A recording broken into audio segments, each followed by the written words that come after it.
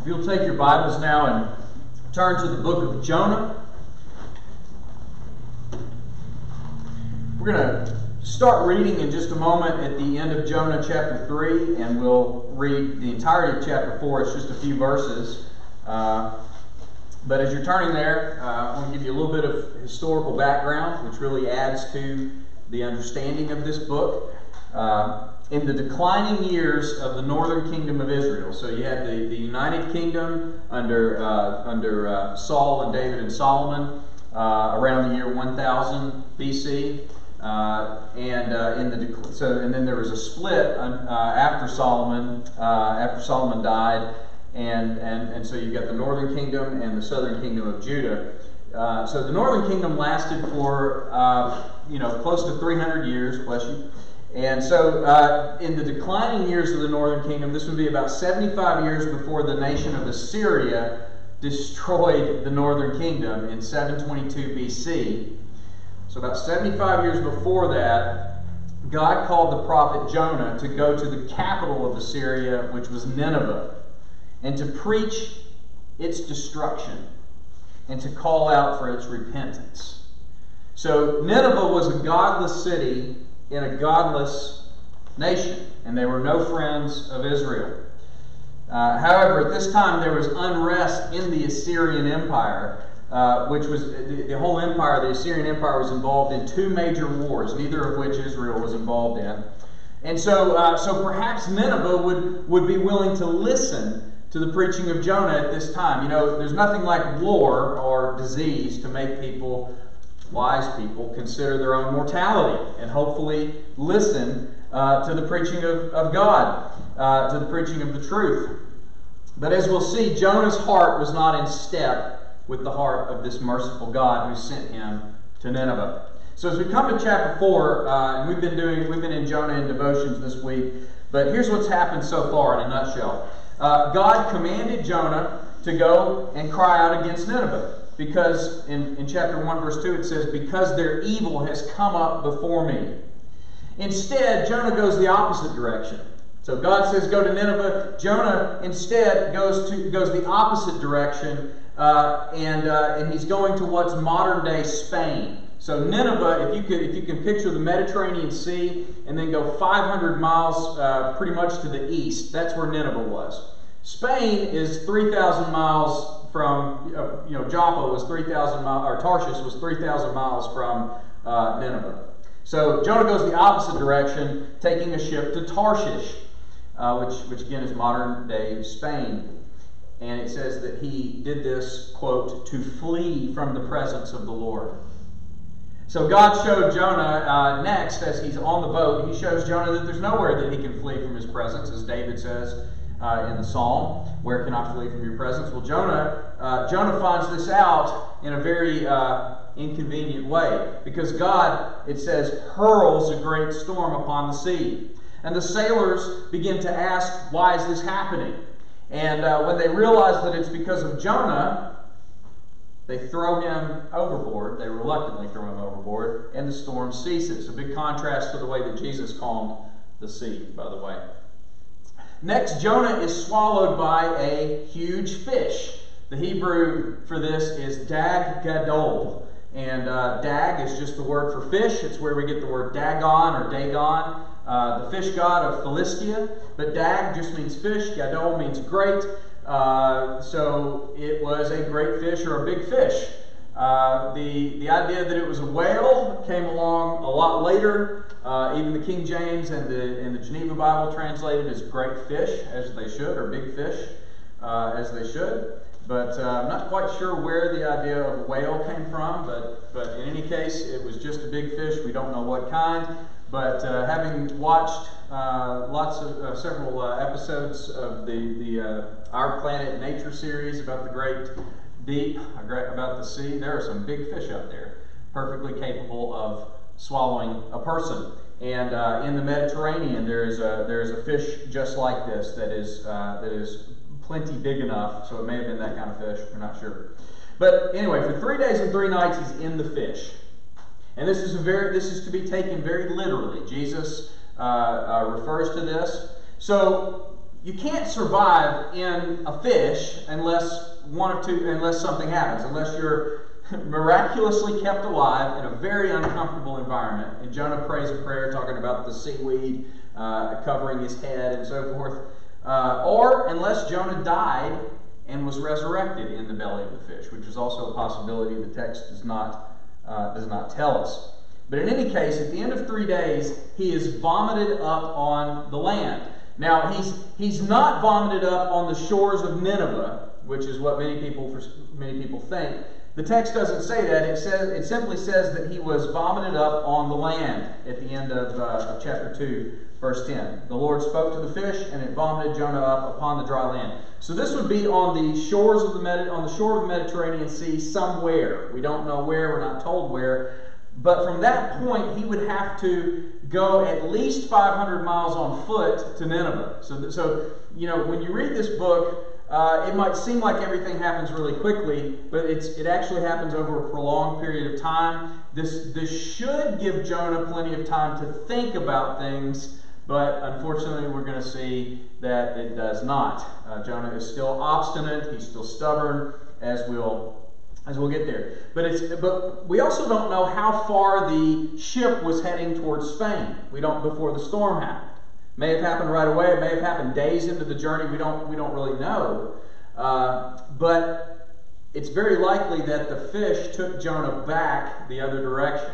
And in any case, when we find Jonah at the beginning of chapter uh, uh, 3 on the dry land, God says to him the same thing that he said at the beginning Arise and go to Nineveh. Arise and go to Nineveh, that great city, and call out against it the message that I tell you. So we see that no matter what Jonah's done, uh, no matter what he's been through, the word of the Lord stands. God does not change his message based on our desires or based even on our, shall we say, antics. So Jonah walks the rest of the way to Nineveh, and then he gets to Nineveh, and Nineveh was a big city at this time. The text tells us that it would take three days just to walk through the city. So if you can think about, uh, you know, some modern cities that are that are that big or bigger. Uh, so Jonah walks an entire day's journey into the city before he begins to preach, and then he preaches a message of judgment uh, with no hope. He just, he just says God is going to destroy the city, and yet the people repent and believe God. And they even repent in dust and ashes, as you'll see in just a second. And so you would think that this would make Jonah happy, but instead he has a very different reaction. He's very angry, he's very upset that the people listen to his preaching. As a preacher, there's nothing better than when people listen and apply it. That's just that just really makes us happy, or it should. But not so with Jonah. Hear the word of the Lord. Jonah chapter 3, verse 6, and we'll go through the end of chapter 4. The word reached the king of Nineveh, and he arose from his throne, removed his robe, covered himself with sackcloth, and sat in ashes. And he issued a proclamation and published it throughout Nineveh by the decree of the king and his nobles, let neither man nor beast, herd nor flock taste anything. Let them not feed or drink water, but let man and beast be covered with sackcloth, and let them call out mightily to God. Let everyone turn from his evil way and from the violence that is in his hands. Who knows, God may turn and relent and turn from his fierce anger so that we may not perish. When God saw what they did, how they turned from their evil way, God relented of the disaster that he said he would do to them, and he did not do it. But it displeased Jonah exceedingly, or literally, it was exceedingly evil to Jonah, and he was angry. And he prayed to the Lord and said, O Lord, is not this what I said when I was yet in my country?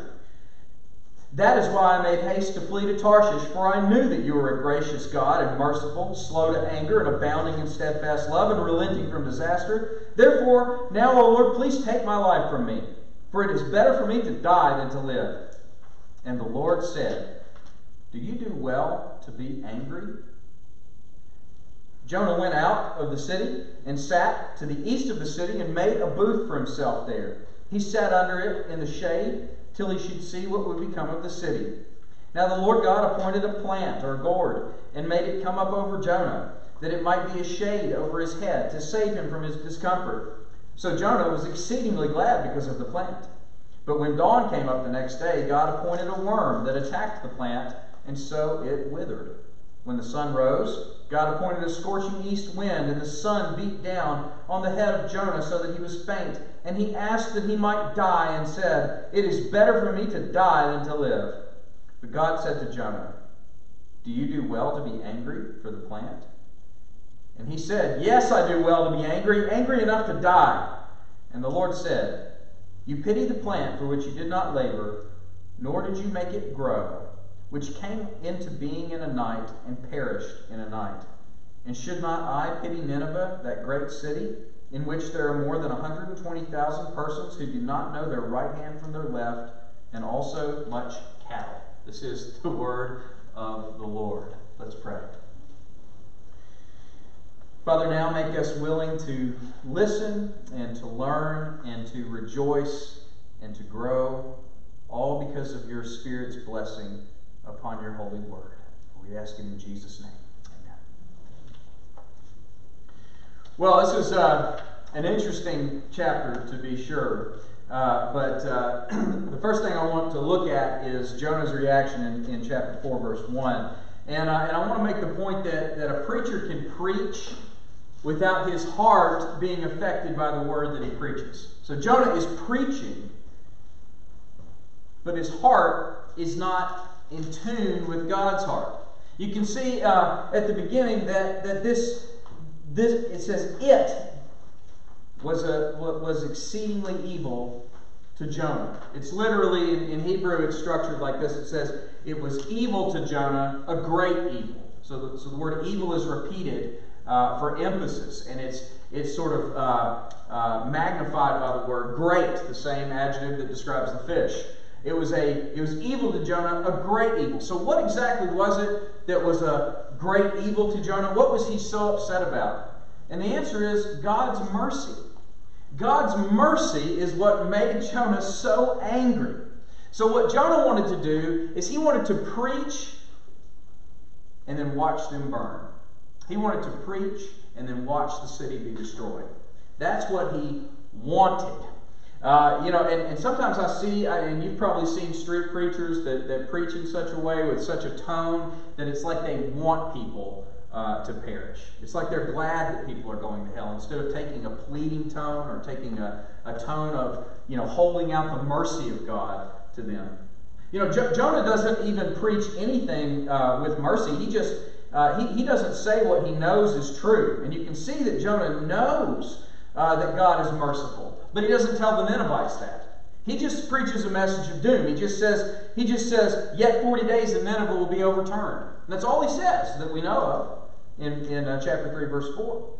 And he wants them to be destroyed. So we can see right away that Jonah's attitude was diametrically opposed to the attitude of God. You know, uh, the Bible tells us that there's rejoicing in heaven, right? In Luke 15, there's rejoicing in heaven when one sinner repents. So think about a whole city repenting. Th- this causes rejoicing in heaven while Jonah is pouting.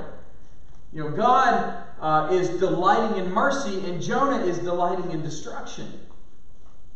And he's reluctant to see forgiveness take place. He even tells God, I told you so, in verse 2. He's, he's, uh, uh, he, he begrudges God's mercy. Look at verse 2. He says, He prays to the Lord and he says, Oh Lord, is not this what I said when I was yet in my own country? So he's basically telling God that this whole thing was a big waste of time. The, the, the, uh, the, the, time in the fish, the, the journey on the land to Nineveh, the preaching, the going through the city, it was a big waste of time. He says, he's saying, God, I knew you'd be merciful. You know, if you were going to show mercy, why didn't you just do it while I was still at home? Before you called me to leave the safety of Israel and go to this pagan place with these people that I can't stand. Why don't you just show mercy to them without wasting my time? That's basically what he's praying. And then to make matters worse, he justifies his sin. He says, he says, This or that is why I made haste to flee to Tarshish, for I knew that you're a gracious God.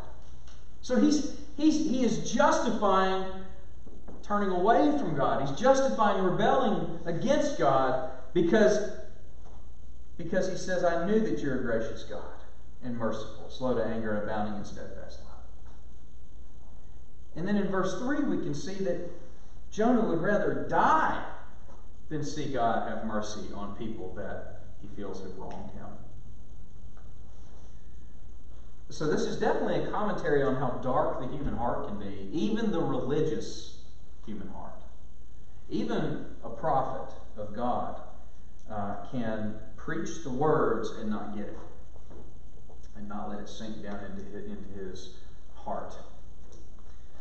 And so when Jonah preaches, he's still hoping that God will destroy the city. That's why he goes out of the city and watches. And he's watching to see if God will destroy the city.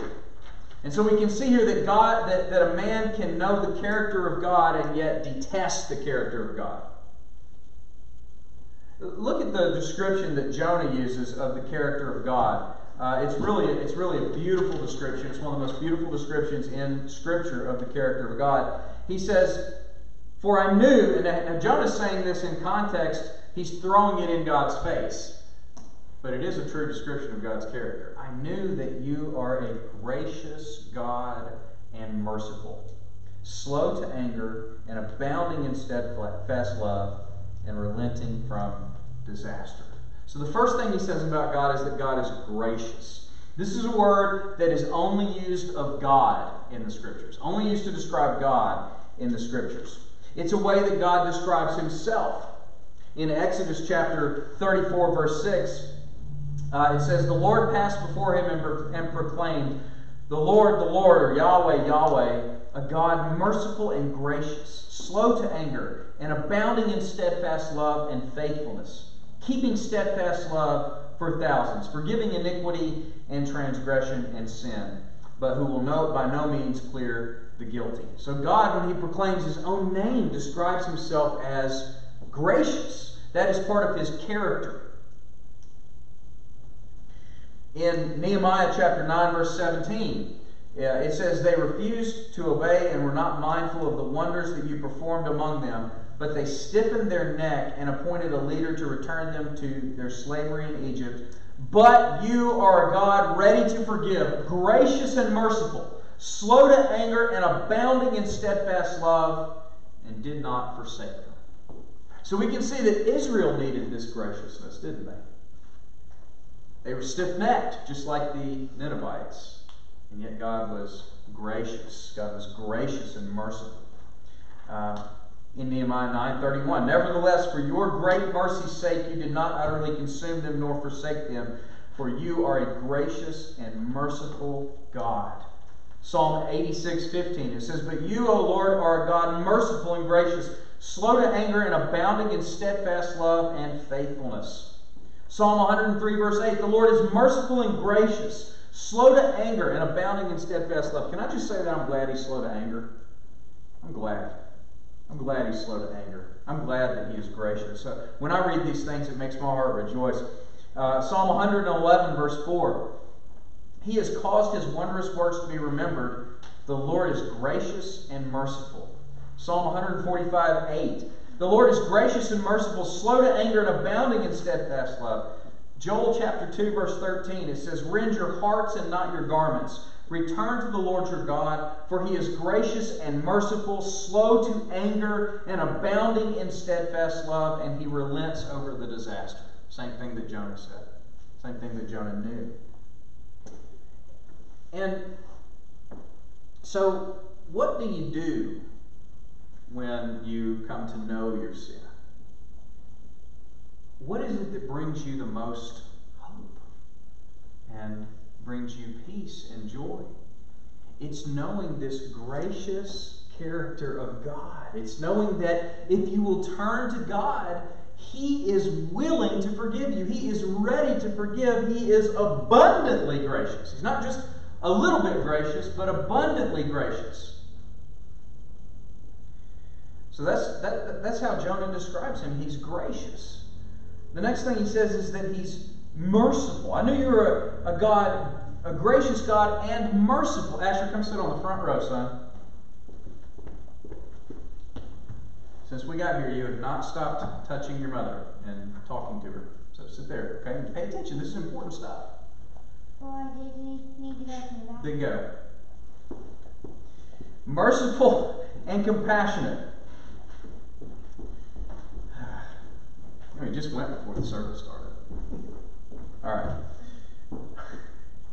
So merciful and compassionate, and you notice the mercy and compassion of God uh, was was all through those verses uh, that we just read. Joel two thirteen. Return to the Lord your God, for He is gracious and merciful. So gracious has to do with a favorable disposition, right, towards towards God's people. Mercy has to do with forgiving rather than punishing their sin.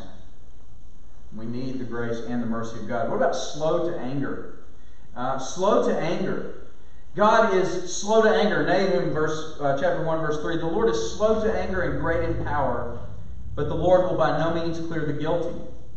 So, so God is patient with us. He's patient with us. Uh, Numbers 14, 18. The Lord is slow to anger and abounding in steadfast love, forgiving iniquity and transgression. But he will by no means clear the guilty. Now, if, if we know that we're guilty, then we can't just be cleared from our guilt. God has to punish our sin. The gospel is that He's punished our sin in Christ. And so He can be merciful to us. But if God dealt with us strictly according to what our sins call for, He would have slain us all and sent us all to hell long ago. But He is slow to anger. Now, the Bible calls us to be uh, slow to anger. You know, uh, there's not a there's not a there's a description of God throughout the Bible that says he's slow to anger. There's not a description of a man that says, you know, this man was slow to anger. I was thinking that probably the closest would be David. You know, David, when he is uh, when Absalom leads the rebellion against David, and David has to leave Jerusalem, flee Jerusalem for his life, and then there's this guy Shimei who is cursing David and call and uh, yeah, cursing him publicly. David's mighty men say, "Let us go over there and take his head off for cursing the king." And David, and David says, "No, leave him alone. Maybe God has bidden him to throw stones at me." That's patience right there. After after all that David went through, and uh, and yet in the midst of his anguish and turmoil, he is slow to anger towards this man. And as the king, he could have rightly said, Go ahead, guys, go take care of it. But he's slow to anger. But we're all called to be this way. All of us are called to be slow to anger. Uh, you know, in James chapter uh, chapter 2, verse 19, as, as we read, it says, Know this, my beloved brothers, let every person be quick to hear, slow to speak, and slow to anger. For the anger of man does not produce the righteousness of God. The anger of man does not produce the righteousness of God. So God is, is, is called gracious, compassionate, or merciful, slow to anger, and abounding in covenant love, or hesed, uh, you know, a, a beautiful uh, Hebrew word. Um, he is abounding in this. He's abounding in this covenant love. Every time we hold up the communion cup and say, This cup is the new covenant in Christ's blood, we are talking about uh, the abundance of God's covenant love. God's covenant love is so great, again, that He sent His Son to ratify the covenant in His blood, to suffer uh, under the, the scorn and, and cruelty of men, to die for us.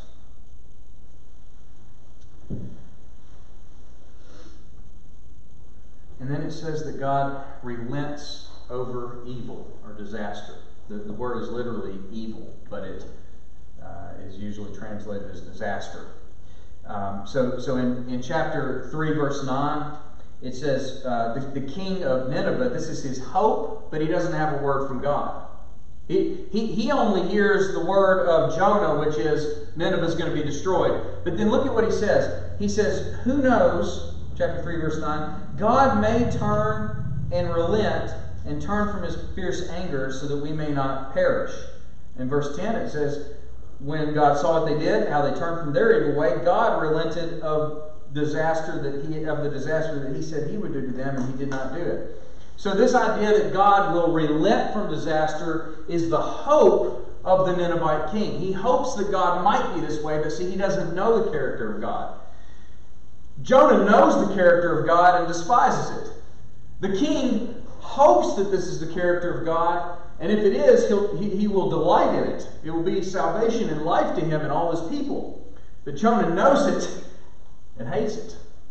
So you see the contrast, uh, and I hope you're starting to see a theme here that Jonah was the biggest problem in the entire book. He's a bigger problem, even though he's a prophet of God, than the pagan Ninevites are. Because he knows God's character, but he hates it. He hates God's character. And maybe this is because when G- of what Jesus says in Luke chapter 7, verse 47, when he says, He that has been forgiven little loves little. He that has been forgiven little loves little. He that has been forgiven much loves much. And he says this, he's speaking of a woman who is weeping over his over him and washing his feet uh, with her with her tears. And um, and it's a scandal of people that are standing around. why, why, why is there such a display here? And the answer is because if you understand how much you've been forgiven, you will love God so much that you won't really care what anybody else thinks about your expressions of love to God. But on the contrary, if you don't think you need a lot of forgiveness, that will directly impact the amount of love that you have towards God. So, interestingly, the path, one path to loving God more is to understand how much He's forgiven you. And you can only know that by knowing His Word, knowing His righteous standard, and through prayer. But somehow Jonah doesn't get this. Uh, you know, and, and so Jonah, of all the characters in Scripture, Jonah is the only one that uses the goodness and graciousness of God as a reason to disobey God. He's the only one. He says, I knew that you were a good God. I knew that you're a merciful God. I knew that you're a gracious God. Therefore, I disobeyed. It is just, it really shows how warped we can become if we're not in the, in the Word and if we're not meditating on the graciousness of God. And if Jonah could just have seen himself and his need in the Ninevites, if he just knew that all people have a sin nature, we all sin, and we all need the grace of God, then he would have rejoiced rather than rebelled. He would have rejoiced in the character of God because he, because he would have known that God's mercy was his only hope. God's patience was his only hope. Look how patient God is with Jonah. I mean, he, he's patient. God says, God, the maker of heaven and earth, tells Jonah to do one thing. He does the exact opposite because he thinks he's going to run from the presence of God.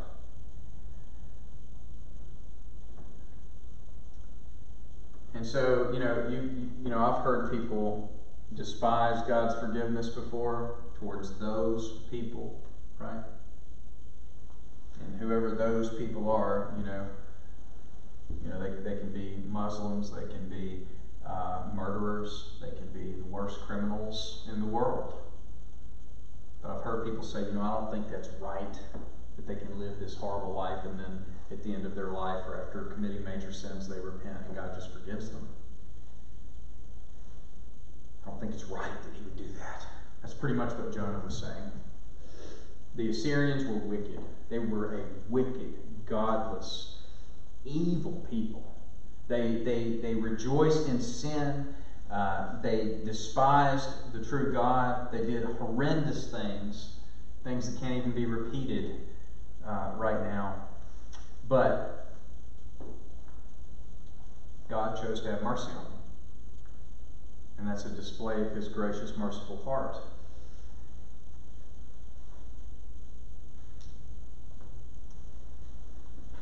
So, again, the more we know ourself and our own need, the more willing we are to rejoice in God's forgiveness to the worst of sinners. right? Paul called himself the chief of sinners. Um, always to keep himself, guard himself in this attitude that God shouldn't forgive those other people. The Pharisees fell into this same idea, the same uh, standoffish. Uh, uh, you know, they, they, they in, at the beginning of Luke 15, uh, the, the, the uh, text that contains the, the lost sheep, the lost coin, and the prodigal son, or the two sons, the, the whole context is set up, as you remember, by the Pharisees being offended that sinners would come to Jesus, that Jesus would welcome them into his presence. Now, Jesus didn't welcome them and approve of their sin, he welcomed them and, and called them to turn from their sin. Night and day difference. Jesus was always saying, repent. You know, I, I, see these things that says, well, Jesus welcomes everybody. Yes, he does. He welcomes everybody to turn from their sin. He doesn't welcome everybody and approve of their sin. That is not the biblical Jesus. That is, a, that is an idol. It is a false Jesus. Another, it's, it's another Jesus, as the Bible warns us to be aware that people are going to create other Jesus in their own image. But the true Jesus would go into uh, a crowd of sinners, if you, were, if you will, and he would tell them about the mercy and love of God and also warn them about the wrath and severity of God.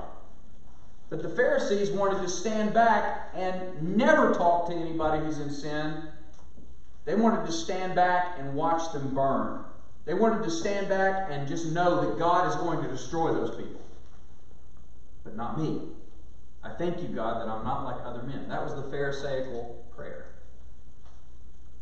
But God's heart is go into all the world and preach the gospel to every creature. Go and plead with people. Plead with people to turn from their sin.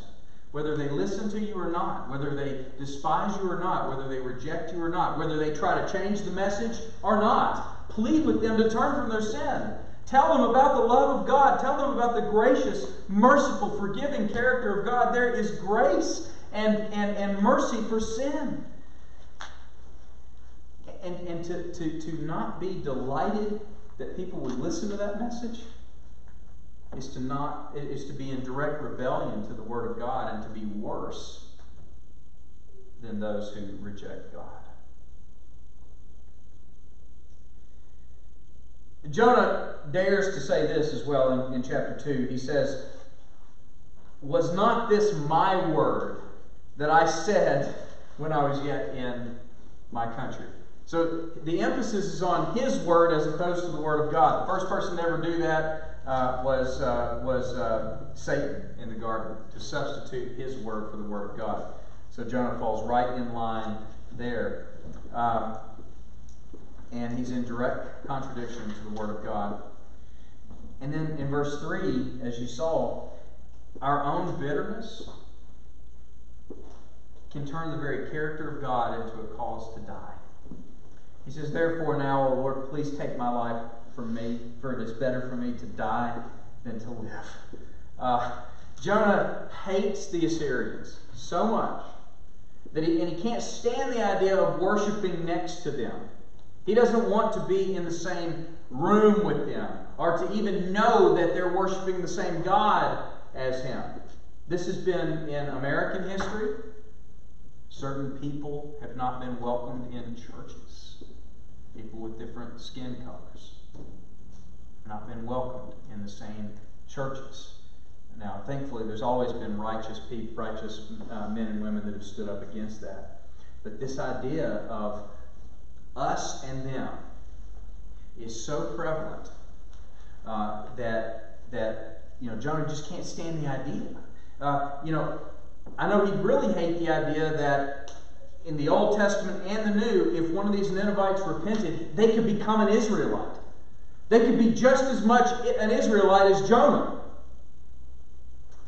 And in the same way, you know, uh, Christ has shed his blood for people of every language, nation, uh, and, and, and, and uh, uh, nationality, ethnicity. And he calls us all brothers and sisters. There's no difference, no division between all those who love the Lord Jesus. So there's not an us and them within Christianity. There is neither Jew nor Gentile, the Bible says. But Jonah hates the Assyrians. Um, he hates pretty much all foreigners. And uh, it's just so ungodly. Uh, in, in, chapter 1, verse 9, they ask him, I don't know if you noticed this if, you, if you've read the book of Jonah lately, but they, they ask him, chapter 1, 8, they, they say, Tell us, on whose account has this evil come upon us? What is your occupation, and from where do you come? What is your country, and of what people are you? And so he answers every question except what's your occupation. He will not tell them that he's a prophet. He tells them he's a Hebrew, and he, uh, he tells them that he fears the Lord, the God of heaven. That may or may not be true. But he doesn't tell them that he's a prophet because he just loathes speaking the message. He doesn't, he doesn't want to tell them any more than the bare minimum of what they're asking for.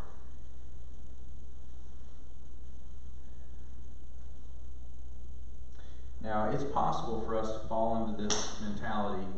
We know the Word of God, we know what God's calling us to do, we know what He's called us to do.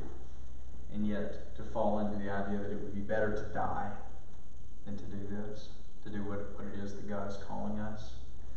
Um, now, I'm not going to get specific with application here, but if you know the Word of God and you know that God's calling you to do something in His Word, um, something that is clearly stated, and you don't want to do that, you hate to do that, um, you hate, you know, you just just the thought of doing that, whatever that thing is, uh, it, it, seems like it'd be better to die. You know, it could be it could be sharing the gospel with people. I'd rather just die than, than have to share the gospel and be rejected. It just hurts so bad.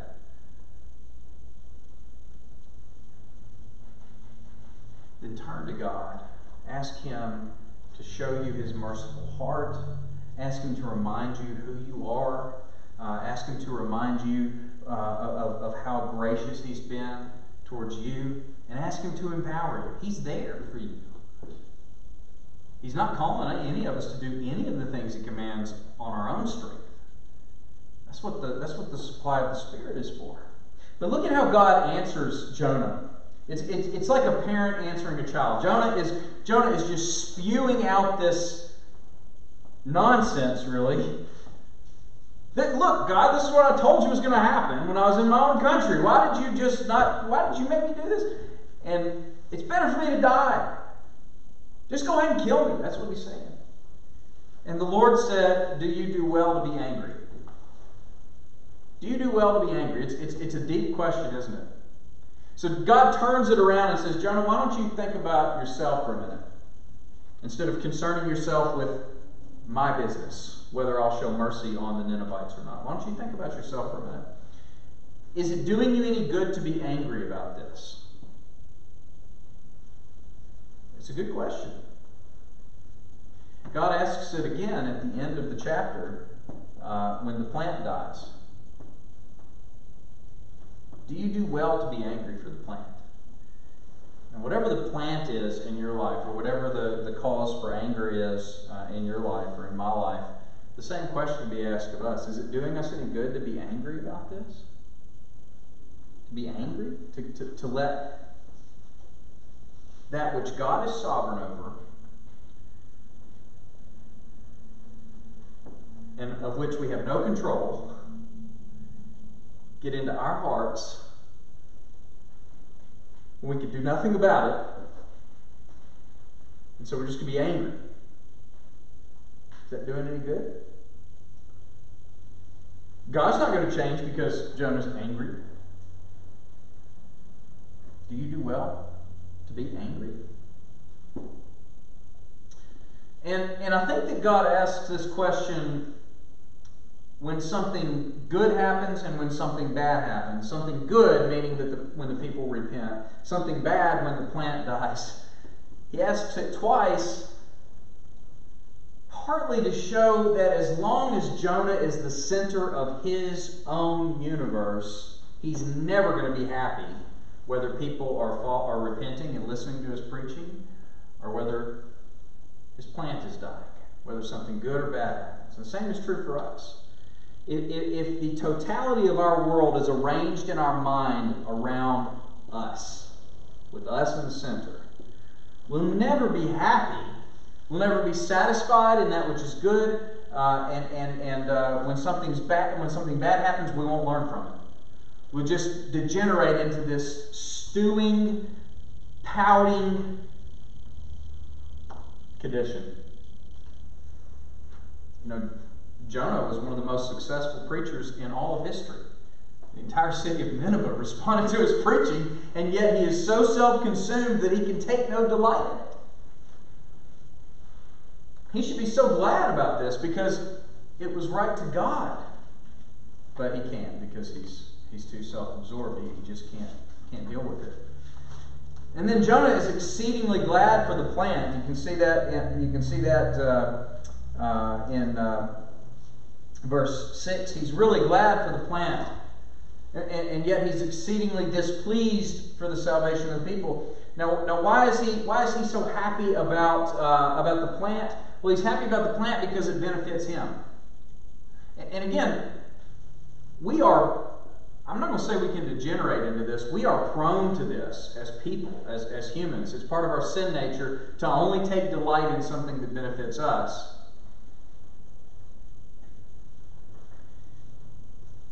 And, so you can see that the Jonah's not glad that the people are repenting. He's not glad about the salvation of God. He's not even glad to know the gracious character of God. He's glad because of a plant.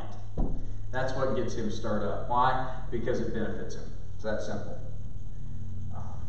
And so he's, he's basically using God's creation and he's saying there's no value in anything God is doing or anything God has made unless it, may, it benefits me. So we come to verse 11. And uh, God has the final word, and we don't really know how Jonah responds. We're never told how Jonah responds. It, it, this book ends rhetorically in an open ended way to provoke thought, so that, so that we will consider God's question uh, and hopefully draw the right conclusions. So Jonah pities that which is compared to the people uh, the plant. It's, it's ignorant uh, like the people. They, the, the plant just grows and it does what plants and, and, and people do. It just, it just grows and it does what it's, what's natural. Um, and in some ways, the plant is like Jonah's own life. He, he didn't work for it. He didn't cause it to grow. Um, he can't cause it to. He can't preserve it. But he expects God's grace towards him but in, in many in, in the way that the Bible compares it here, the plant is like the people. Jonah has no investment in the people of Nineveh, but God does. He's given them life and breath and, and, and their being. And he desires to have mercy on them. And that's as simple as it is. Uh, so the main point of this question in verses 10 and 11 he says, Should I not pity Nineveh, that great city in which there are more than 120,000 people who do not know their right hand from their left, and also much cattle? Isn't it interesting he names the cattle? The king puts, it's, it's humorous actually, it's meant to be. The king puts sackcloth on the cattle. You see, these, these uh, the pagan Ninevites, they didn't know what God wanted. They didn't know how to repent. They'd probably heard of fasting and sackcloth and ashes, and they had their own ceremonies and so forth. But the king thinks it's a good idea to put sackcloth on the cattle, as though the cattle are going to mourn, right? And so God asks the question Should I not also have mercy on the cattle? And he's comparing the people to the cattle. They don't know the right hand from their left, meaning they don't know what they're doing. They are, they are without my revelation, except through you, Jonah.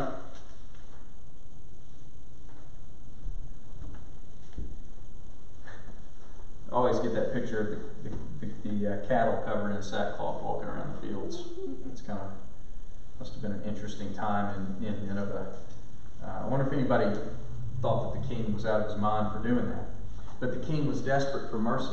And when you're desperate for mercy, you'll do just about anything to get it, and you really realize how much you need it. But part of the point of this question and the thing that sort of sort of ought to jump out at us is that yeah, the cattle don't know what they're doing. The people of Nineveh don't know what they're doing. They don't know their right hand from their left. So who does know? Who does know their right hand from their left? Uh, who, who does know the character of God? It's Jonah. He knows. And me and you, we know the character of God. We have his written revelation. Jonah knew the Old Testament. That's how he knew that if the people of Nineveh repented, that God would forgive them. Because Jeremiah 18 says that if at any time a, a nation that is decreed, that is devoted to destruction, that God says he'll destroy, if at any time they repent, God will relent of the destruction and forgive them. And so Jonah knows the Old Testament. He knows the books of, uh, of Moses. Uh, he knows the prophets that went before him. He knows God, or he knows the character of God. And yet, while the people that don't know God are doing the right thing, he knows God and he's doing the wrong thing. And I think that that's a parallel for every Christian that knows the Word of God and yet continues to walk in in sin. And so, so you can see that Jonah actually needs more mercy from God than the Ninevites that don't know their right hand from their left. And that sort of reorients the whole scene, doesn't it? Instead of Jonah standing back and, and looking down at them, he can, he, he can actually see himself as, as being in greater need of forgiveness because of his greater knowledge of God. And this is why, when, as it's been said, it's a dangerous thing to hear the preaching of the Word of God. Because once you hear it, once you read it, you're responsible for acting upon it. Before you were in the position of the uh, of the Ninevites, but now you know. And you know, so there, there is a great responsibility uh, to being God's people. And so we can see here that, that, that the book of Jonah is not so much about the salvation of a city as it is about God's salvation towards a man, Jonah, towards this prophet.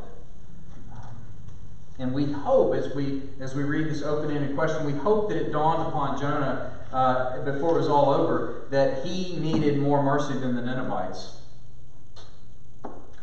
Uh, because pretty much every character in the book repents except for Jonah. The Ninevites repent, the sailors repent, even the cattle, if you will, repent.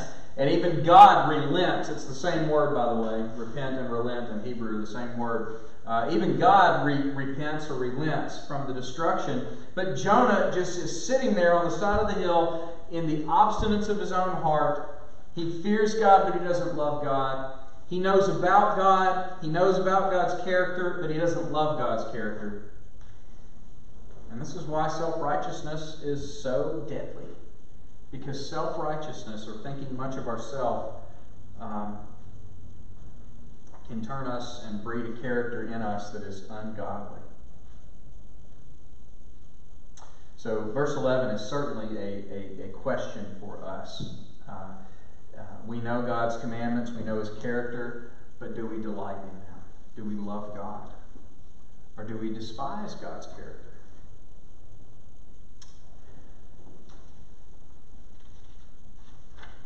And so, so um, when I read the book of Jonah, I think, you know, the person or persons that have harmed me the most, and there are people who have done me a lot of harm, if they repented, if they came to know God, what would my reaction be? Would I be angry at God? Or would I be delighting in the expression of his gracious character towards them? The person or persons that have done you the most harm. I don't say that lightly. Because I, I know some of you have been very hurt by some pretty wicked deeds that have been done.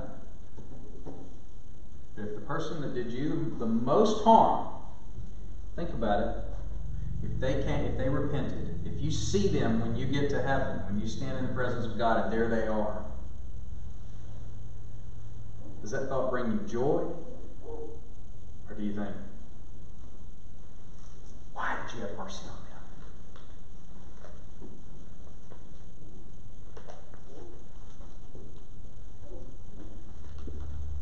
That's the point of Jonah. That's what it's all about.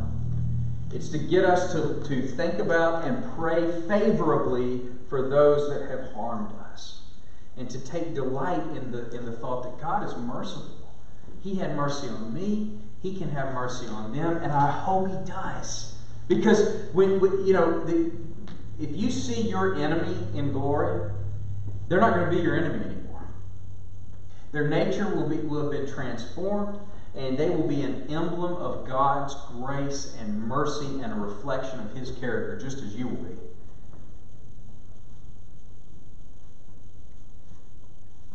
But as long as we're thinking about the gourd,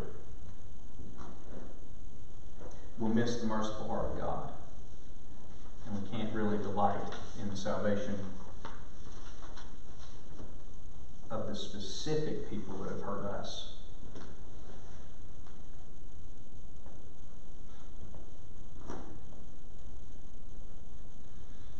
So, this is why, in part, the Bible says to love your enemy.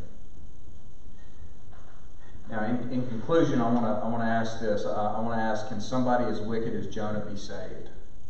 And the answer is, of course, he can. And we actually have a lot of evidence to support the idea that Jonah is one of God's children the whole time. He's just in rebellion. Uh, think about it. Think about that character of God and just bring it home to Jonah real, really quick. God is patient with him. God is patient with Jonah. God is gracious towards Jonah. He's disposed to, to do Jonah good. God is merciful towards Jonah personally. Uh, he doesn't destroy him. Even when he argues with God, he doesn't destroy him. Maybe you have, maybe you have sinned in the presence of God, uh, and God has not destroyed you. He's covenantally faithful towards Jonah. Um, his, his, love abounds towards him. Uh, you know, he orchestrates all these things the storm at sea, uh, the, the, uh, the Ninevites, the plant, everything, and ultimately sends his own son to die for Jonah's sins, just as he has, has for us. So God loved us so much that he was willing to slay his son for us, um, even, for, even for the forgiveness of sins that we might hardly acknowledge that we commit. So we can see the, the, the patience, the gracious disposition uh, of God towards us as we see how patient He is with Jonah. He is so patient with this man, so gracious towards him. But as long as you're sitting there under the gourd, or hoping the gourd won't wither, uh, you know, just seeing what little things you can get from this life, uh, and just waiting for Nineveh to be destroyed, waiting for God to destroy those people or that person that has wronged you so badly, then you'll never be able to delight in God's gracious and merciful character. And you'll miss one of the greatest joys of life.